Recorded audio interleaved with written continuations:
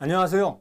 배우락에서 필기 과목에서는 이제 측량학, 토질 및 기초를 강의하고 있는 박용복입니다. 어, 제가 여러분들한테 필기 합격 전략 설명에 대한 내용을 설명을 좀 드리려고 하는 겁니다. 이번 시간엔. 어, 먼저 그리고 배우락을 선택해 주시기를 좀 부탁드리고도 싶고요. 왜냐하면 배우락에서는 여러분들에 대한 그 필기 합격을 위해서 기본 과정에 대한 거, 기초 입문 과정도 있고 또 기본 과정, 이론에 대한 거, 그다음 문제 풀이, 그다음에 실전 모의고사 형태로 이렇게 진행이 되니까요. 먼저 이제 전략에 대한 생각을 세우고 그 다음에 저희가 준비한 또 커리큘럼들을 또 천천히 보시면서 결정을 해 주시기 바랍니다. 먼저 어떻게 내가 합격을 할 거냐라고 하는 부분입니다. 먼저 제가 이제 토목기사 전망이라고 표현했는데 목표라고 생각하시면 돼요. 내가 토목기사를 왜 취득해야 되냐라고 여러분들 생각하실 텐데 내 토목과를 나왔으니까 뭐 토목기사 당연히 따야지 이런 생각으로 준비하지 마시고 내가 목표를 먼저 정해야 되는 거예요. 그러면 이제 취업이다. 그럼 취업도 어 내가 어 회사를 들어가겠다. 아니면 공무원 쪽을 하겠다. 다 가산점이 있어요. 그 다음에 공사 시험을 보겠다라고 하는 생각도 할 수 있고요. 그러면 공무원은 가산점이 있고요. 공사 시험 같은 경우 토목기사가 없으면 아예 시험을 응시를 못하는 그런 공사들도 있고요. 그 다음에 내가 이제 회사를 들어가겠다 생각한다면 회사도 설계회사가 있고 시공회사가 있고요. 감리회사는 처음부터 들어가는 건 아니니까 감리회사라고 하는 부분 파트가 있고 그 다음에 유지관리회사라든지 진단회사 그럼 좀 작은 회사들이면 어, 그런 작은 회사들이지만 그래도 내가 직접 나중에 회사를 차릴 수도 있는 그런 장점들이 있거든요. 어, 그러니까 그런 것들을 두루두루 먼저 생각을 해보실 때 아 나는 먼저 이런 쪽 일을 좀 해보고 싶다라고 하는 것을 좀 결정을 하시고 그 다음에 그에 대한 준비를 하시는 겁니다. 어, 내가 설계회사를 가겠다. 그럼 설계회사에 필요한 내용들을 어떻게 더 준비를 하면 되는지에 대한 걸 좀 많이 검색해 보시고 그러면서 뭐 선배들 있잖아요. 예, 선배들 있을 때 그런 선배들한테도 물어보시고 뭐 저희 배우락에다 물어봐도 제가 아는 한 어, 최대한 여러분들이 좀 쉽게 이해할 수 있게 설명을 드리겠습니다. 그러면 왜 하냐? 왜 필요하냐? 토목기사를 취득하면 설계사, 뭐 시공사, 뭐 어떤 우리가 응시를 하게 된다. 그러니까 내가 출발선에 쓸 수가 있어요. 토목기사가 없으면 쓰지도 못해요. 그러니까 토목기사는 무조건 입고 봐야 돼. 그러면 왜 그런 게 있어야 되느냐? 우리는 기사라, 즉 기술자거든요. 기술자는 등급이 매겨 있어요. 어떻게 등급 매이냐? 초급 기술자다, 중급 기술자, 아, 초급 기술자, 중급 기술자, 고급 기술자, 특급 기술자 이렇게 네 단위로 돼 있어서 점수가 다 35점, 45점, 55점, 75점 이렇게 점수가 돼야지 되는데 그때 점수가 대학을 나왔느냐? 그러면 20점. 기사 자격증이 있느냐? 30점. 이런 식으로 점수가 주어집니다.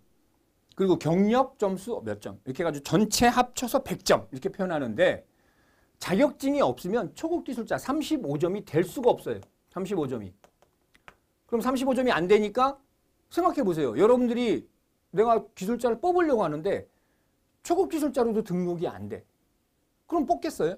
당연히 안 뽑는단 말이야. 예, 그런 부분들을 생각할 때 토목기사는 무조건 있어야 된다라고 하는 것을 강조 드리는 겁니다. 그래서 자격증이 없으면 내가 등록 자체가 안 된다. 따라서 자격증을 취득해야 된다라고 하는 목표를 여러분들이 선정하시고 공부를 좀 해주시고요.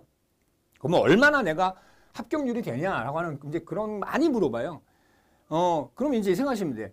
2020년에 대한 시험에 대한 전망 해보면 우리가 이제 통계치가 계속 나오거든요. 17년도 그랬고 18년도 그랬고 지금은 이제 19년에 대한 거니까 18년 거에 대한 거가 나와 있는데 필기 응시자가 만 명 정도 돼. 만 명 정도. 그 중에 3천 명 정도가 합격한 거죠. 그러니까 한 30% 가까이 합격을 한 거야. 그럼 실기 응시자가 5,283명, 누적된 인원인 거죠. 네, 누적 합격자까지 합쳐져서 5,283명 중에 합격자는 2,941명 합격돼서 거의 한55.7% 합격한다. 그러면 필기 시험을 합격하고 2년 동안 응시가 가능하거든요. 실기 시험. 그러니까 아, 2년 뒤에 해야지. 이러면 안 돼. 최대한 빨리 해야 돼요. 최대한. 왜냐하면 단기간에 빨리 합격하셔야 뭐 내가 필기를 한 번 떨어지고 실기를 막 뭐 네다섯 번 떨어졌어. 그렇다고 공부를 많이 했어. 다 자격증 검은색이거든요. 네, 검은색인데 그렇다고 공부 많이 했다고 빨간색으로 주는 거 아니에요. 다 똑같이 나와. 그러니까 최대한 빨리 합격하셔서 그 다음에 여러분들이 이제 더 그에 필요한 공부를 하시는 게 좋겠습니다. 그래서 실질적으로 합격선은 이렇습니다라고 돼 있는데 어 제가 이제 기술자 직무 교육하는 쪽에도 근무를 하고 있기 때문에 얘기를 해보면 기술인 협회라는 곳이 있어요. 예, 기술인 협회에 여러분들이 등록이 되는 거거든요. 우리 기술자가 되면 그러면 위공과에 대한 인원이 어느 정도 되느냐? 약 80만 명 정도 돼. 그럼 건축 토목은 건축 토목에 대한 인원이요. 약 64만 명 정도 됩니다. 64만 명. 그 중에 기사 합격 을 갖고 있는 사람이 약 30만 명 정도? 36만 명이 그 정도밖에 안 돼요. 어마무시하게 많이 없다는 소리예요. 실질적으로는. 그러면 그런 게 왜 그러냐? 제도 때문에, 제도 때문에. 예전에는 자격증제였는데, 그 다음에는 합격력제로 바뀌었거든요. 합격력제로 바뀌다 보니까 합격력제야. 학력제, 경력제. 그러다 보니까 자격증 취득이 뭐 한 10년 동안 거의 많이 안 땄죠. 그냥 뭐 학력, 경력만 있으면 다 되니까. 그러다가 다시 역량지수라고 하는 지금 초급, 중급, 고급, 특급으로 바뀌게 되는 형태가 되면서 자격증을 다시 취득해야 된다. 그러면 왜 자격증을 취득시키게 했느냐. 야, 자격증은 없어도 경력만 갖고도 인정을 해주자라고 하는 취지는, 어, 너무 자격증에 국한돼 있다 보니까 자격증을 안 딴 사람들도 열심히 일했는데 대우를 제대로 못 받는다. 그리고 자격증을 갖고 있는 사람은 일을 안 해도 빌려주는 경우가 생기거든요. 네, 그런 걸 좀 폐단을 막자라고 하는 거가 있어서 이제 그런 법으로 바꿨었는데 그렇게 자격증은 없이 합격력제로 하다 보니까 뭔 일이 생겼냐면 자격증을 취득하지 않아도 돼. 이렇게 돼버리니까 하향평준화가 되는 거야. 그러니까 공부를 안 해. 그래서 자격증이라고 하는 것을 따기 위해서 막 공부를 해왔는데 야 이거 안 되겠다. 어, 이 이공계는 그래도 계속 공부를 해야 된다. 기술사도 안 따려고 하니까. 어, 그래서 안 된다. 공부를 시켜야 되겠다. 자격증 인정해줘야 되겠다. 나라도 이제 그때 안 거죠. 그래서 다시 이제 제도를 바꿔서 했던 거니까 합격률에 대한 형태를 제가 말씀드리는 건 요 안에는 난 무조건 들어간다. 이렇게 생각하시길 바래요. 난 요 안에 합격자로서 요 안에 무조건 들어가야 돼. 노란색으로 되어 있는 거에서 퍼센트는 여러분들이 들어가셔야 됩니다. 이 많은 기술자 중에 자격증이 없는 사람이 그렇게 많아요. 그러니까 공부하셔야 될 이유가 충분히 된, 될 거다라고 생각하는 거고요. 이제 응시 조건을 좀 설명해 주라고 해서 제가 이제 좀 넣었는데 어, 이렇게 생각하시면 돼. 그냥 여러분들 다 이렇게 어, 내가 지금 대학교를 다니고 있어. 어, 그러면 휴학을 하기 전이야 라고 하는 부분을 여러분 생각하시면 되고요. 어, 산업기사 이상 등급을 취득한 사람은 경력이 있으면 1년 이상 경력이 있으면 기사시험 봐서 볼 수 있는 거고 그 다음에 기능사 자격을 취득했으면 3년 이상 경력이 있으시면 응시는 가능합니다. 그 다음에 관련 학과 대학 졸업자 또는 졸업 예정자라고 돼 있잖아요. 요 졸업 예정자 때문에 제가 설명을 좀 드리려고 하는 거예요. 졸업 예정자라고 하는 건요. 이렇게 하셔야 됩니다. 만약에 내가 3학년 2학기 등록금을 안 내고 휴학해버리면요. 졸업 예정자가 안 나와요. 그러니까 3학년 2학기 등록금을 꼭 내셔야 돼요. 내셔야 그럼 4학년 1학기에 내가 휴학을 하잖아요. 그럼 휴학을 하더라도 등록금을 낸 학생은 졸업 예정자가 돼요. 근데 등록금을 안 내고 휴학한 사람은 졸업 예정자가 안 돼요. 그냥 6년째, 3학년 때 그냥 휴학한 거야. 그러니까 내가 영어 공부를 하려든 뭐 아니면 내가 다른 준비를 좀 하려고 휴학을 하더라도 꼭 등록금은 내고 휴학하세요. 그래야 기사시험도 같이 할 수 있거든요. 네, 그러니까 그 부분을 좀 설명드리고 하려고 제가 이제 설명을 좀 했던 거고요. 그 다음에 3년제 전문대학 관련 어, 학과나 졸업자들은, 졸업자들은 동일 및 유사 직무 분야에서 1년 이상 신고가 있어야 기사시험 볼 수 있습니다. 그러니까 어, 산업기사라고 하거든요. 예전에는 기사 2급이라고 했는데 기사 2급 취득한 사람이나 요새는 3년제로 많이 바뀌어 있으니까 2년제가 아니라 3년제로 바뀌어 있으니까 3년제 나온 사람이야 경력이 있어야 응시가 가능하다라고 하는 거고요. 2년제 전문대학 분야에서는 또 2년의 경력이 있어야 어, 기사시험이 응시가 가능하다. 그 외에는 뭐 여러분들한테 해당된 사항이 없을 테니까 요 정도 응시 조건이 있다라고 하는 거 알아두시면 되겠고요. 그 다음에 필기 시험 방법에 대한 과목 해보면 여섯 과목입니다. 역학, 측량, 수리, 철콘, 토질, 상하수도 과목에 대한 자세한 사항은 제가 후에 다시 또 정리를 해놨으니까 어, 요 여섯 가지 과목에 대해서 합격을 하시는데 60점 이상이면 합격이야. 즉 120문제 중에 72문제 합, 맞으면 합격이야. 음, 72개만 맞자. 아, 그러니까 좀 너무 가스라스하니까 그럼 한 75개 정도 맞자. 어, 75개 정도 내 목표를 두고 공부를 하시면 되겠는데 아무리 모든 점수가 100점인데 요 중에 하나라도 하나라도 40점 미만인 과목이 있잖아요. 어, 그러면 이제 35점 맞았거나 7개 맞았다는 소리야. 그러면 의미가 없어요. 아무리 다 100점, 100점, 100점, 100점, 100점인데 얘가 35점이야. 그러면 그냥 꽝, 나가리야. 어, 과락이라고 하는 제도가 있어서 그러니까 나는 이 과목이 싫어. 그럼 이 과목을 안 할래. 이러면 안 된다고. 최소한의 점수 맞아줘야 돼. 40점 이상은 획득해야 평균으로 들어가지는 거니까요. 예, 그러니까 나는 버리는 과목이 있어서는 안 된다. 그걸 설명하려고 예, 제가 여섯 과목에 대한 내용을 좀 했고요. 그 다음에 이제 제가 여러분들이 이제 학습 방법에 대한 내용을 좀 설명을 드리면, 어, 공부를 하는 게 그런 것 같아요. 내가 아무리 지금 뭐 대학을 다니면서 어 좋아 3년 동안 내가 전공 전공 과목을 공부했으니까 그래서 어느 정도 알고 있지 않을까 하는데 여러분들 이렇게 많이 알고 있지 않아요. 왜 많이 알고 있지 않냐면 직접 투입돼서 그거 안에서 속 안에서만 움직이고 있었거든.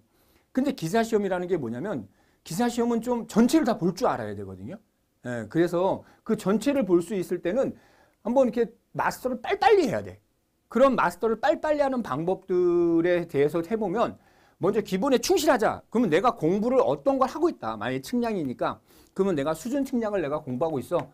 어, 그러면 수준 측량에 대해서 정의 알아야 된다 이거. 정의. 정의를 먼저 쫙 아, 수준 측량이라는 게 뭐냐? 높이를 재는 측량이다. 그럼 끝난 거야. 어, 정의야. 어, 100점이야. 수준 측량은 높이를 재는 거니까. 어, 그럼 분류를 어떻게 하냐? 그래, 수준 측량에서도 어떻게 어떻게 어떻게 측량을 한다. 어, 분류도 해놔. 그럼 이제 종류된 건 기계를 어떤 걸 사용하고 방법은 또 어떻게 있고 이런 것도 도, 분류를 해놔. 그럼 그때그때마다 내용은 어, 이게 직접 수준 측량이냐 간접 수준 측량이냐. 그럼 직접 수준 측량은 이렇게 하고 간접 수준 측량은 이렇게 하더라. 내용을 쭉 적어놔. 그러면서 대책에 대한 건 뭐냐. 어떤 뭐 조건들이 있을 때 그거에 대한 방법에 대해서 우리가 어떻게 처리를 해야 되냐. 계산 공식에 대한 거 응용도 마찬가지고요. 네, 여러 가지 내용들에 대한 결과 또 대책 이런 것들을 적어놓는 거지. 그러면서 내가 유의사항 많은 걸 틀렸다. 아니면 이걸 내가 잘못 알고 있었다. 내가 이런 내용은 잘못 알고서 이렇게 풀어낸다. 라고 하는 부분들을 좀 정리를 해 놓으시면 그것을 어, 정리할 때는 이런 생각 들어요. 내가 이런 짓을 왜 하고 있지라는 생각 드는데 제가 이제 샘플로 좀 설명을 드리면 어, 뭐 저도 여러분들과의 시간을 다 겪었잖아. 이런 식으로 저도 막 과목별로 이렇게 다 공부를 했었어요. 막 공부를 하면서 이렇게 막 정리하고 틀리면 포스트잇 붙여놓고 막 이런 식으로 다 정리를 해서 과목별로 막 다 설명을 이제 빨리빨리 보기 위해서 왜냐면 이렇게 다 정리를 해놓지 않으면 막 이렇게 정리를 이렇게 지금 보면 이렇게 막 해놨잖아요. 이런 식으로 정리를 해놓지 않으면 책 갖고는 복습이 빨리빨리 이루어지질 않아요. 그러니까 좀 많은 양을 생각한다. 어, 왜 이렇게 자꾸 많은 양만 써 있냐. 이렇게 어, 뜨문뜨문 쓰더라도 뜨문뜨문 이렇게 쓰더라도 이런 내용들을 다 정리를 좀 해놔야 내가 아 이 과목을 봤어? 그러면 좀 빨리빨리 이제 공부를 하겠다라고 할 때 얘네가 힘을 발휘해 그때 책은 내가 보, 공부하던 책으로 다시 보잖아요. 상당히 오래 걸려요. 그 빨리빨리 보는 게. 근데 이렇게 정리를 해놓으면 되게 빨리빨리 봅니다. 그럼 나중엔요 시험 볼 때쯤 되잖아요.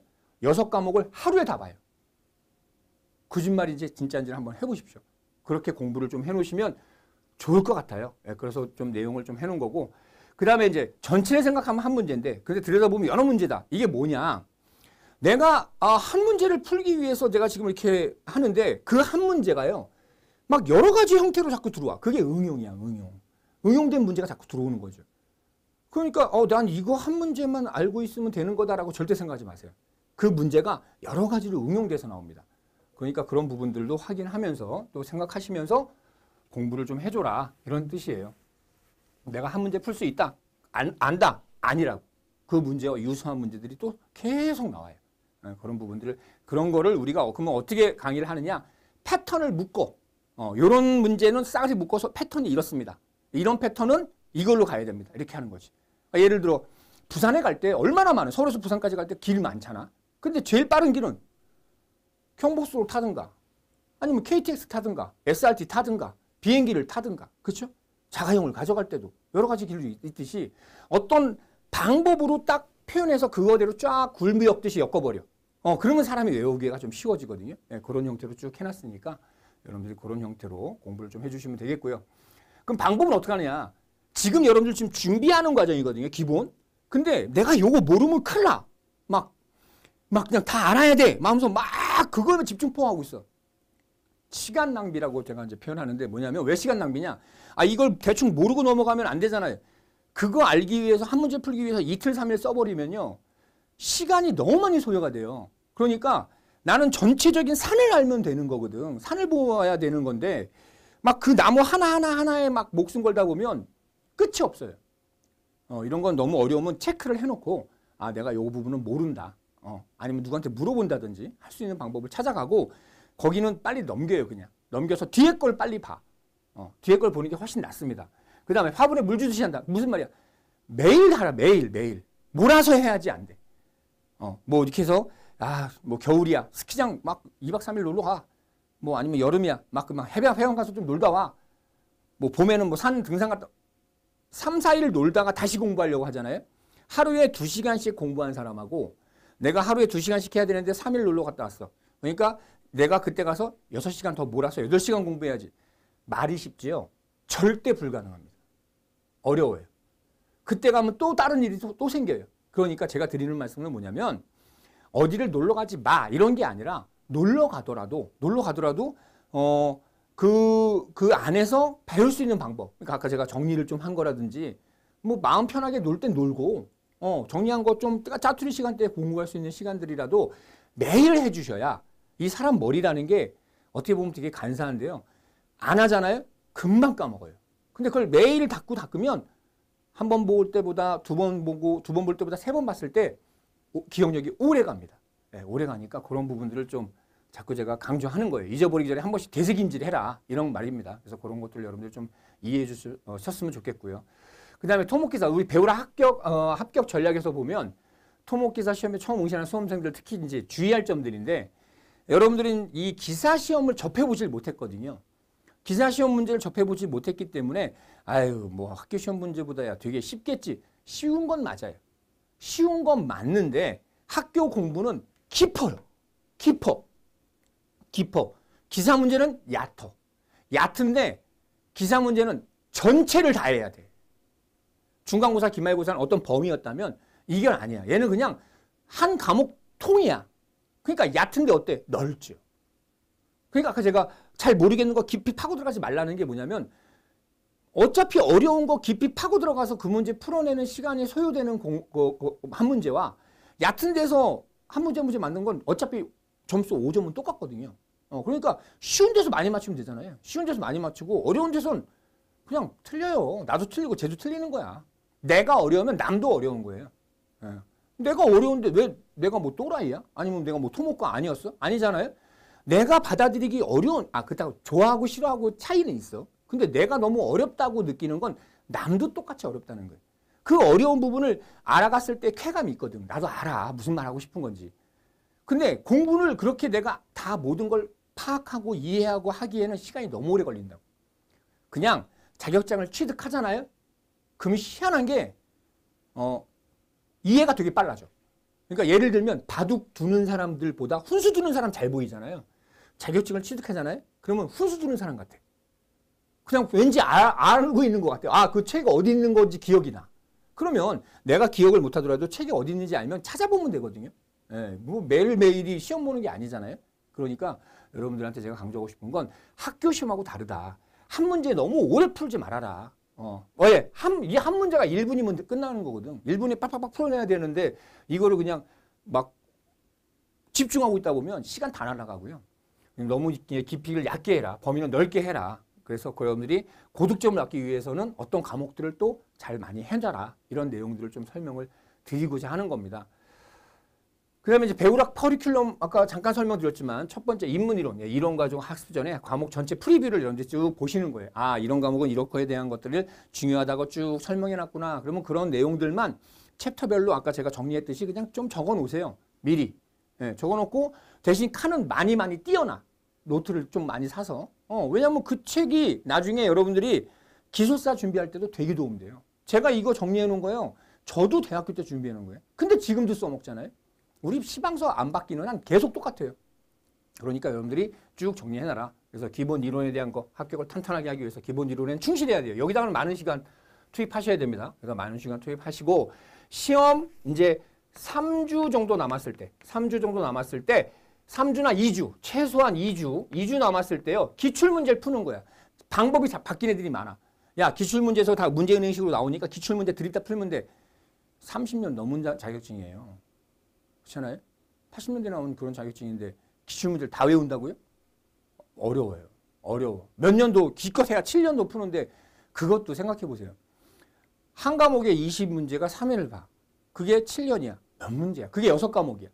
어떻게 그걸 다 외운다고 한 거예요. 예, 그러니까 그걸 목표로 두면 안 되고 이론을 충분하게 본 다음에 이 기출문제 왜 푸느냐? 내가 공부는 이렇게 해왔는데 기출문제는 이렇게 가다가 이렇게 갈라질 수도 있어.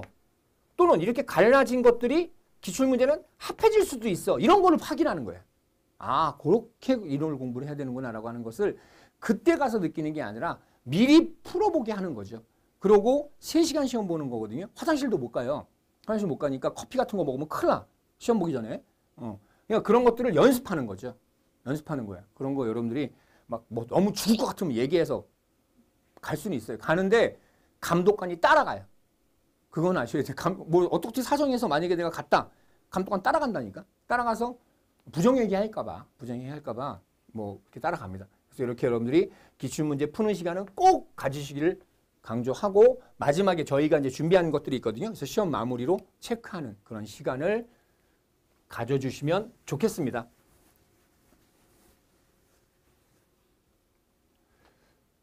그다음 과목별 주의사항에 대한 걸 좀 설명드리면 제가 이제 여, 여섯 과목에 대한 내용인데 역학이 있고요. 측량이 있고요. 수리 있고요. 철근 있고요. 토질 있고요. 상하수도 있어요.